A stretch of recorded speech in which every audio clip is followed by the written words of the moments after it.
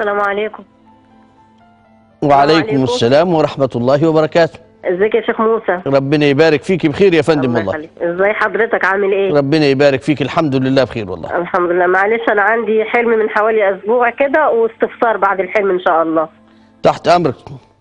أنا من حوالي أسبوع كده حلمت إني بنت خالي بنت خال والدتي عندي في البيت هي ووالدتها. ماشي يا شيخ. اتفضلي معاك يا فندم.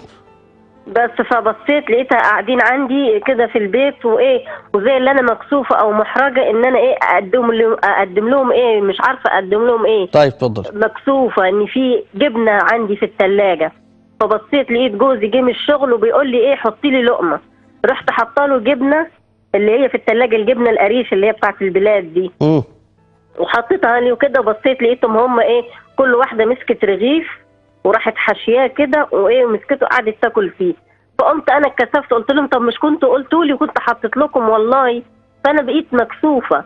فرحت إيه عملت الشاي جبت شاي وقعدت أصب ولقيتهم إيه كل واحدة ماسكة رغيف كده وقاعدين مع جوزي وجوزي لابس جلابية بيضة كده وقاعد وقاعدين بياكلوا مع بعض. وبس وقعدت أنا إيه أصب لهم في الشاي وكده. فإيه يعني زي اللي أنا بقيت إيه يعني محرجة إن هي جبنة بس اللي عندي قدمتها فبقيت زي اللي مكسوفة وصحيت من الحلم على كده. طيب تابعيني إيه الاستفسار اللي عندك؟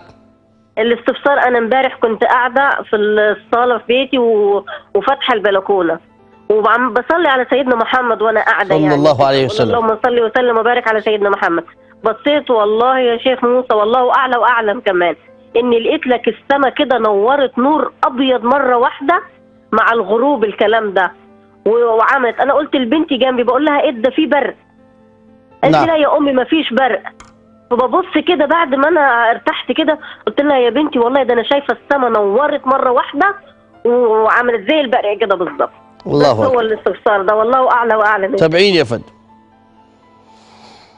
أما سيدنا النبي صلى الله عليه وسلم يقول أكسروا علي من أكسروا من الصلاة علي فإنها نور لكم عند ظلمة الصراط. وإذا كان هناك نور ظهر في السماء فإنك عندما صليت على رسول الله صلى الله عليه عشر.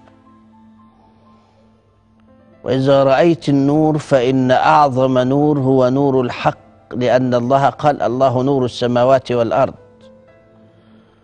ثم نور رسول الله قد جاءكم من الله نور. ثم نور القرآن ولكن جعلناه نورا نهدي به من نشاء من عبادنا. ثم نور الإسلام أم فمن شرح الله صدره للإسلام. ثم نور الإيمان ومن لم يجعل الله له نورا فما له من نور فإنك جمعت بين هذه الأنوار بالصلاة على النبي المختار صلى الله عليه وسلم. وأما عن الرؤية أنا شفت عندي حد في بيتي دخول الناس البيت عندي ده سكنة واطمئنان وراحة للكل وستر. والله جعل لكم من بيوتكم سكنا ودخول الضيف عندي هي بشارة. أتاك حديث ضيف إبراهيم المكرمين إذ دخلوا عليه؟ دخلوا عليه ليه؟ عشان يبشروه بالذرية. والضيف إذا دخل البيت وأكل ارتحل بذنوب أهل البيت. من كان يؤمن بالله واليوم الآخر فليكرم ضيفه. ولما بقى أشوف إن أنا بعد لزوجي برضو الأكل قالوا رزق. ولما ياكلوا ويشربوا برضو رزق. والله أعلى وأعلم.